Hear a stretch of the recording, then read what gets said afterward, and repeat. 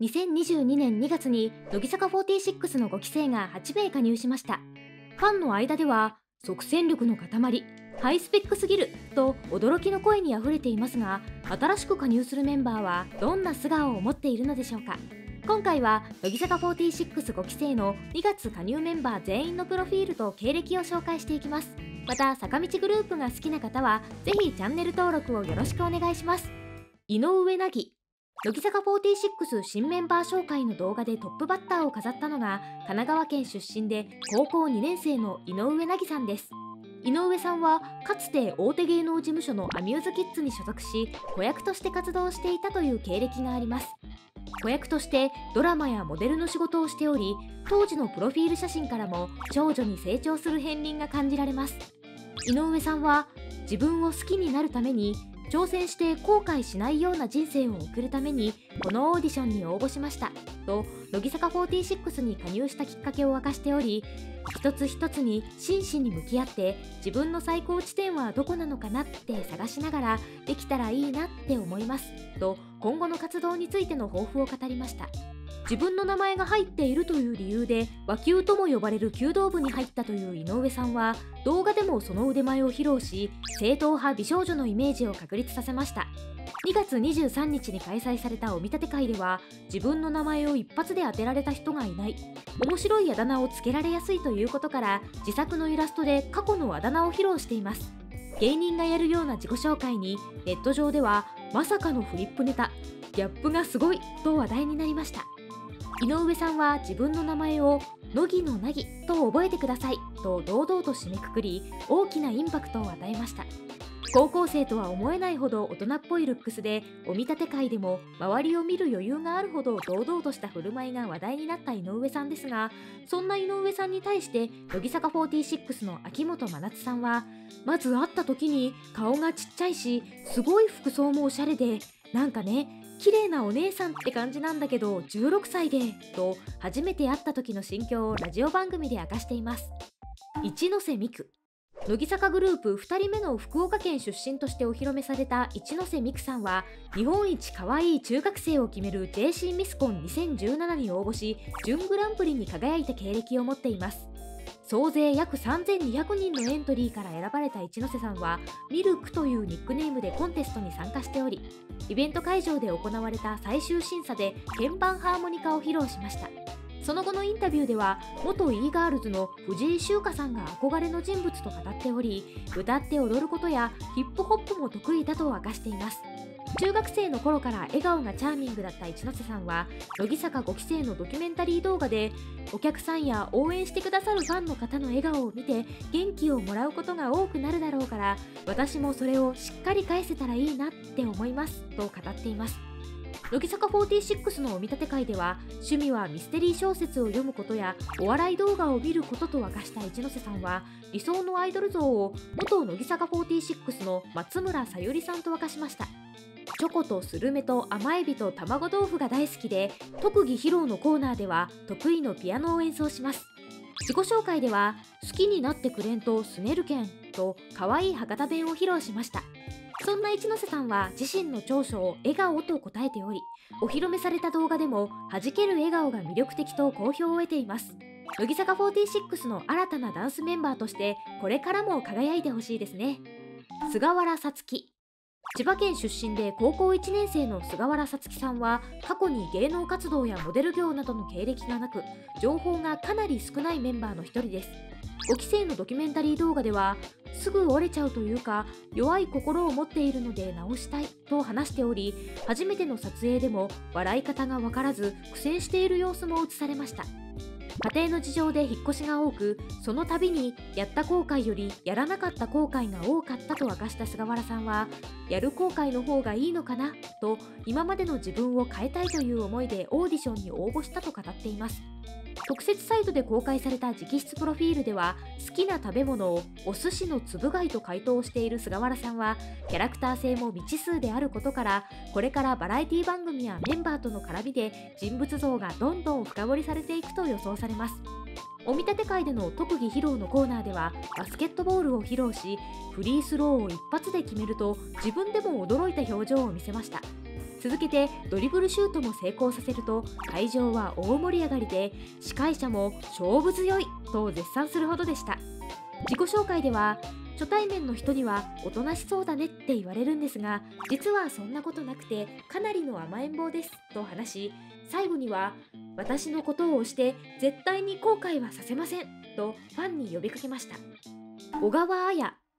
5期生の中で最年少の小川彩さんは乃木坂46のオーディションに応募する直前まで女子小学生ファッション誌「キラピチ」の専属モデルを務めていた経歴があります。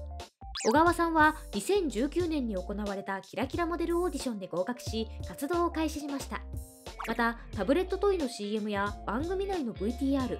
ドフォンのコンセプトムービーなど幅広く活動しておりかなりのポテンシャルの持ち主だということが伺えます。乃木坂5期生のドキュメンタリー動画ではみんなの中に混ざっても可愛いなとか思ってもらえるように一つ一つ丁寧に頑張りたいと語っており最年少ながらも真摯に向き合う姿が話題になりました。お見立て会では小川彩の文字を使ってあいうえお作文に挑戦しておりおっとりしているけど根性があることや楽器が得意なこと妹のようなお姉ちゃんのような娘のような親しみのあるアイドルになりたいですとメンバーの掛け声に合わせながら紹介しています。特技披露のコーナーでは乃木坂46の楽曲「自己中で行こう」をクラリネットで演奏し客席からは盛大な拍手が沸き起こりました。富里奈緒。4月から高校1年生になる千葉県出身の富里奈緒さんは故郷市川市で誕生した市川乙女というご当地アイドルのメンバーとして活動していた経歴があります。市川乙女は2015年に結成され富里さんは市川市や周辺地域でのイベントなどに出演していました。富里さんは一時期青坂奈々という芸名で活動していたと言われており小学生の頃からアイドル活動に励んでいたと言われています。市川乙女のステージでは幼くあどけない表情を見せる富里さんですが大きな瞳や可愛らしい笑顔は今も面影が残っています。乃木坂5期生のドキュメンタリー動画では新しい環境に行って新しい自分を見つけたいなって思って応募しました。とオーディションを受けたきっかけを明かしています。特設サイトで公開された直筆のプロフィールではこれからお仕事で疲れている方や人間関係で悩んでいる方を少しでも癒してあげられる存在になれたらいいなとこれからの目標を綴っています。5期生のお見立て会は残念ながら欠席してしまいましたが新たに発表される残りの5期生メンバーと共にお披露目されると言われています。ネット上でもかなりの期待度なのでこれからどんなパフォーマンスを見せるのか楽しみですね。奥田いろは。千葉県出身の奥田いろはさんは幼い頃に子役として大河ドラマなどに出演した実績を持っています。2011年放送の大河ドラマ「ゴー姫たちの戦国」では主人公の姉初の幼少期を演じており当時から名子役と言われていた芦田愛菜さんと共演していました。大河ドラマだけでなく映画や連続ドラマ CM やアーティストのミュージックビデオに出演するなど幅広く活動していたことが分かっており5期生の中では一番芸歴が長いのではないかと言われています。小学館の通信添削学習ドラゼビの発売発表会に登場した際に奥田さんは大きくなったら歌手と女優さんになりたいです。長いセリフもスラスラ読めるようになりたいと将来の夢を語っておりアイドルとしてデビューすることはもしかしたら奥田さんの長年の夢でもあったのかもしれません。5期生のドキュメンタリー動画では幼い頃からギターに慣れ親しんでいたと語る場面がありギターは好きですし好きなものを使って好きな人に感謝の思いとかを伝えたいと話しています。卒業した高山和美さんや向井葉月さんも乃木坂46のライブでギターを披露した経験があることから今後奥田さんもステージで演奏するかもしれません。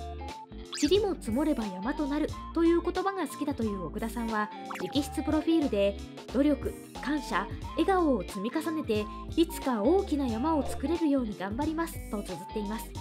これまで培った経験や実績を糧にして乃木坂46で大きな花を咲かせてほしいですね。中西アルノ。3月17日で19歳を迎える中西アルノさんは発表された5期生の中で最年長のメンバーです。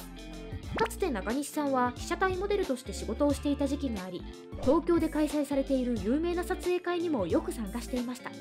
中西さんはかなりの人気モデルで事前予約制の枠はすぐに埋まってしまうこともあったと言われています。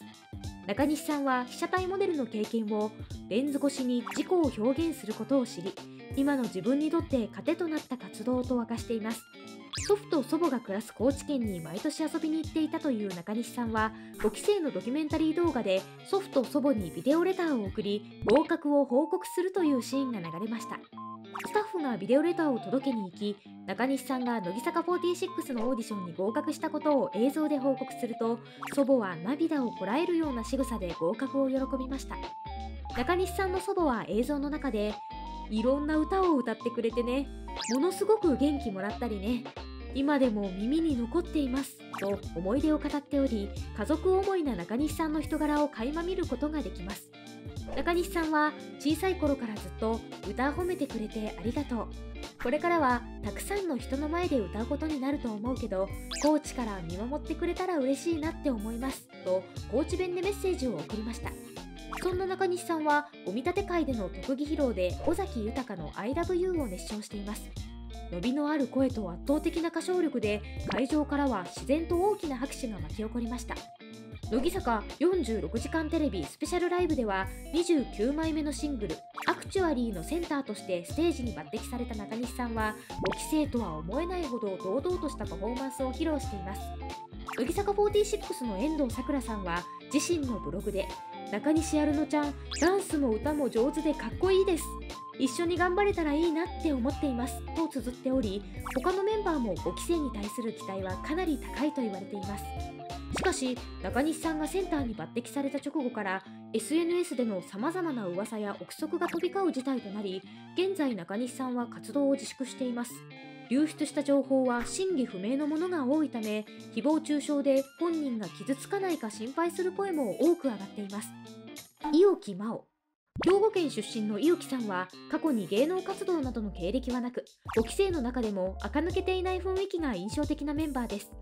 乃木坂46に合格したことで上京を決めた伊沖さんはドキュメンタリー動画で故郷である兵庫の風景を見ながら離れる実感はないけど久々に帰ってきたらホッとするのかなって思いますと話しました。先輩がいるからって理由で甘えてしまっては絶対ダメだなっていうのはみんな最初から言っていてと5期生との会話も明かしており何事にも一つ一つ頑張りたいなって思っているし自分は歌が好きなので歌で何か伝えられたらいいなって思ってますとこれからの抱負を語りました。マグロが大好きだという五百城さんはお見立て会での自己紹介でマグロが好きで回転寿司に行ったら鉄火巻きか本マグロとかそれしか食べないくらいマグロが好きとこれでもかというくらいのマグロ愛を語っています。オーディションの最終審査で東京に初めて来たという五百城さんは母と築地に行きマグロ丼を食べた思い出を話しました。名前が間違えられやすいという伊沖さんはメンバーがたくさんいるので最初は5期生の中の5という漢字がつく女の子と覚えてくれたら嬉しいですとファンにアピールしました。得意の剣道を披露した際は恥ずかしさのあまり「もうやだ!」とこぼす場面や緊張で声が震えるなど5期生の中で一番緊張している様子でしたがネット上では「支えたくなる感じがいい」「これから化ける」などファンにはかなり好評の様子でした今回は乃木坂465期生の2月加入メンバー全員のプロフィールと経歴を紹介しました芸能活動をしてきたメンバーや全くの素人としてお披露目されたメンバーなどいますが全員が個性豊かでどう成長していくのかが楽しみでなりません。5期生はスタートを切ったばかりなので11人のアイドル人生をこれからも応援していきたいですね。動画をご覧いただきありがとうございました。是非チャンネル登録と高評価もよろしくお願いします。